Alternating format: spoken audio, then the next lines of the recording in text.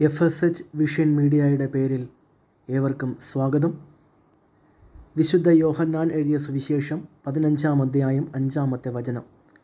ഞാൻ മുന്തിരിവള്ളിയും നിങ്ങൾ കൊമ്പുകളുമാകുന്നു ഒരുത്തൻ എന്നിലും ഞാൻ അവനിലും വസിക്കുന്നു എങ്കിൽ അവൻ വളരെ ഫലം കായ്ക്കി.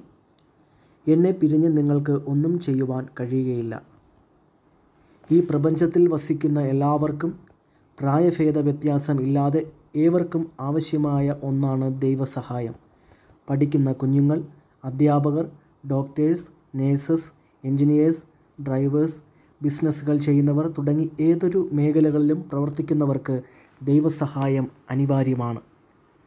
തന്നെ അനുഗമിക്കുന്ന ശിഷ്യഗണത്തോട് കർത്താവ് ഇപ്രകാരം പറഞ്ഞു എന്നെ പിരിഞ്ഞ് നിങ്ങൾക്ക് ഒന്നും ചെയ്യുവാൻ കഴിയുകയില്ല. ഇന്ത്യൻ എയറോസ്പേസ് സയന്റിസ്റ്റും ഇന്ത്യയുടെ പതിനൊന്നാമത്തെ രാഷ്ട്രപതിയുമായിരുന്ന A P J Abdul Kalam.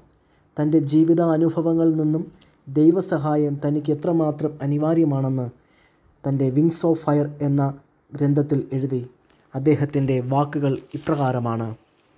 ഈശ്വരനുമായി ഒരു പ്രവൃത്തി പങ്കാളിത്തം നിലനിർത്തുന്ന വ്യക്തി എന്ന നിലയിൽ ഞാൻ എന്നും ദൈവവിശ്വാസമുള്ളവനാണ്. ഏറ്റവും നന്നായി പ്രവർത്തിക്കാൻ യഥാർത്ഥത്തിൽ ഉള്ളതിനേക്കാൾ കഴിവ് വേണമെന്ന് എനിക്കറിയാമായിരുന്നു. ആകയാൽ ദൈവത്തിന് മാത്രം നൽകാനാകുന്ന സഹായം എനിക്ക് ആവശ്യമാണ്. ഞാൻ എന്റെ കഴിവിന്റെ ഒരു യഥാർത്ഥ കണക്കെടുത്തു. എന്നിട്ട് അത് അൻപത് ശതമാനം എന്ന് കണ്ടെത്തി. പിന്നെ എന്നെ ഞാൻ പൂർണമായി ദൈവതൃക്കരങ്ങളിൽ സമർപ്പിക്കുകയും ചെയ്തു. എന്നും എനിക്ക് വേണ്ട ശക്തി ഈ പങ്കാളിത്തത്തിലൂടെ ലഭിച്ചിട്ടുണ്ട്. മാത്രമല്ല അതെന്നിലേക്ക് ഒഴുകിയെത്തുന്നതായി അനുഭവിച്ചറിയുവാനും സാധിക്കുന്നു. എനിക്കിന്ന് ഉറപ്പിച്ച് പറയാൻ കഴിയും.